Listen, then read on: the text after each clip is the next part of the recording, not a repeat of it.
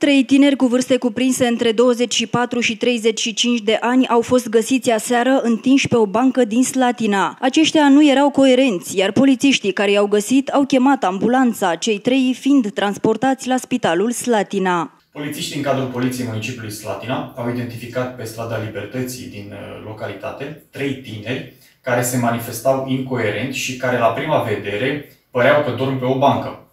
În sprijinul acestora a fost solicitată o ambulanță, cei trei tineri fiind transportați la Spitalul de Urgență Slatina pentru acordarea de îngrijiri medicale. Cadrele medicale le-au acordat primul ajutor și le-au făcut analize, tinerii fiind suspecți de consum de droguri. Au fost anunțați ofițerii Serviciului de Combatere a Criminalității Organizate OLT pentru continuarea cercetărilor. Aceștia urmează să stabilească de la cine au luat tinerii stupefiantele și dacă este vorba despre o rețea de traficanți.